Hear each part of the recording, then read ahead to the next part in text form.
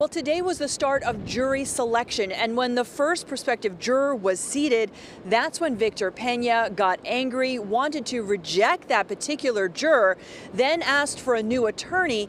The judge, however, removed Pena from the courtroom. Court, all rise, please. Victor Pena in a Boston courtroom as he stands trial for kidnapping and rape.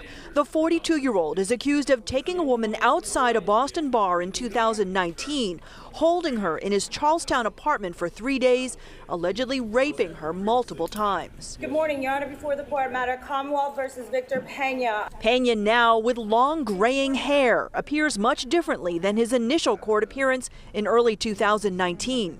Today, Pena brought several books into the courtroom and often stretched or rubbed his arms. Mr. Pena, uh, I am going to require that you comport with the rules of this courtroom. Before jury selection got underway, the judge directly addressed Pena, warning that he control his emotions or would be removed. I've always shown you respect, and I fully anticipate and expect that you will show uh, not only uh, this process respect, but that you will have respect for our Superior Court session here. Through an interpreter, Pena responded, declaring his innocence. I want justice to be done. I want my innocence to be proven. You have judged me and not given me bail. Please. No, no, no. Then, late in the day, an outburst in court. Pena arguing about the seating of the first juror after rejecting several already. He told the judge he needed a new attorney.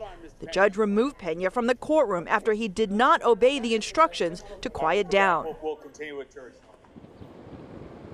In the end, two jurors were seated. They need a total of 16. Victor Pena's attorney tells me that he will be back in the courtroom tomorrow as the jury selection process continues. Live in Boston, Sera Congi, WCVB News Center 5.